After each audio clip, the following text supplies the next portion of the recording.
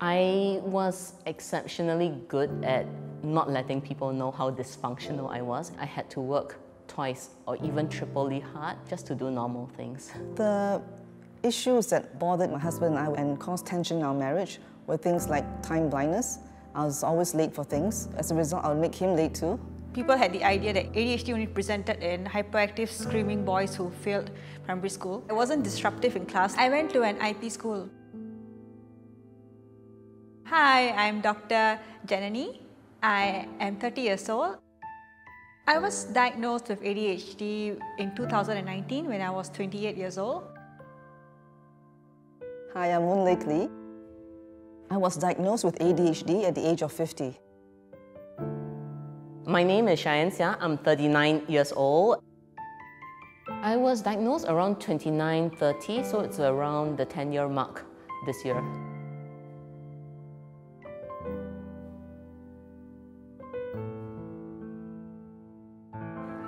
Whenever teachers gave me assignments, they would never get handed in. It's not for the lack of trying.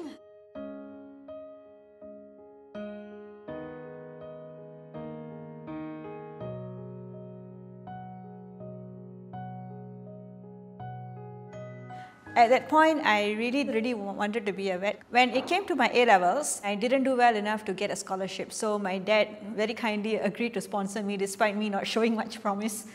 So I told myself I need to succeed. I don't want to disappoint him uh, again. And that's when the anxiety mounted and mounted and mounted. And in hindsight, the anxiety is what made my adrenaline levels rise and made me be able to concentrate enough to get the grades needed to get accepted into vet school. I used to take like eight cups of coffee a day. Then when I needed to wind down, I started drinking alcohol quite early too.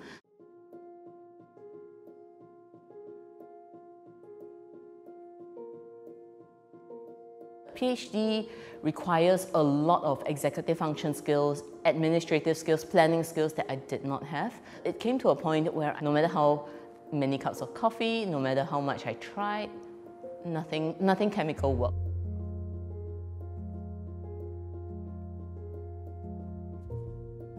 I had symptoms of depression where I thought everything was just pointless. I just wanted to lie in bed. Um, I didn't shower for days.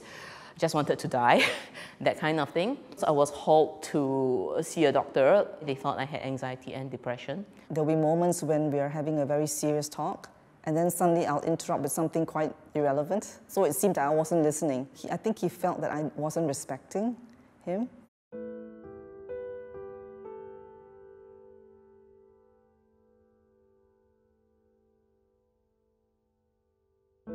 All these little things that um, bugged him about me were character flaws. And he'll always say, you know, why are you like that? There's something wrong with you. Can you go and fix it? You know, it may not seem major, but it does add up. And particularly in a relationship, that can be something quite uh, troubling.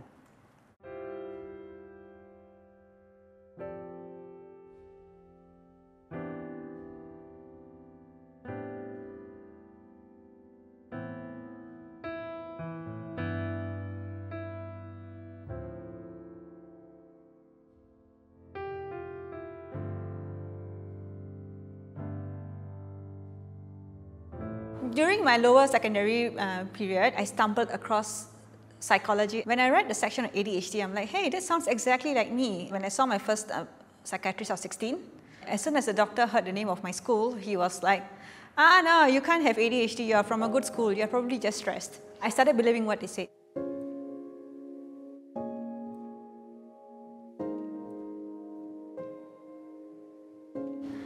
When I finally, when I saw the doctor for a formal diagnosis, I was 28. When I was sent to uh, IMH, I was bumped around. They put me on various medications for anxiety, for depression.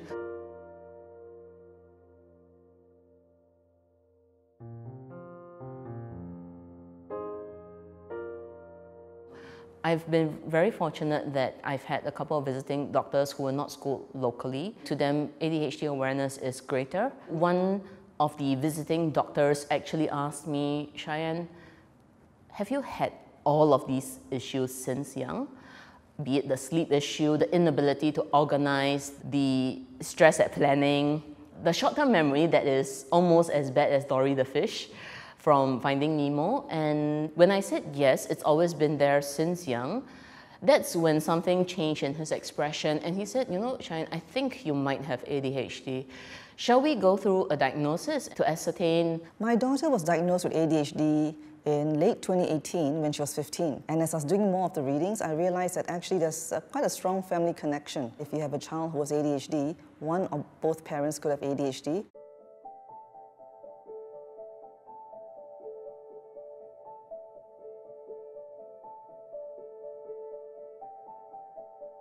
At that time, I didn't know too many adults that were diagnosed with ADHD.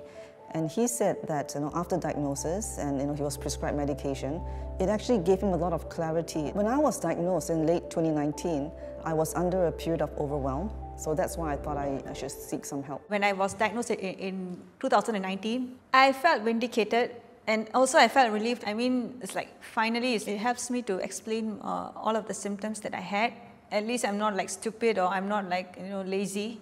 And then I also felt a sense of grief because I do think about what I have experienced as a result of being undiagnosed all these years, and I do wonder how things um, could have turned out if I had been diagnosed earlier.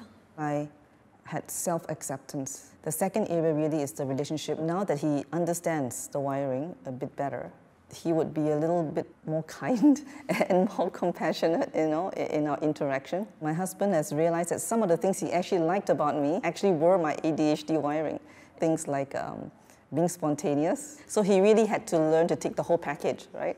You know, the good stuff as well as the stuff I need to work on better. The first few thoughts was clarity. I'm not like broken as in a worthless human being. My brain is not wrong, but maybe it's not suitable for this post-industrial era where I have to sit down and really spend hours focusing. I have my strengths elsewhere. I also occasionally coach girls with ADHD because girls with ADHD, how they face it and how they internalize it, their emotions are quite different from how boys generally get it.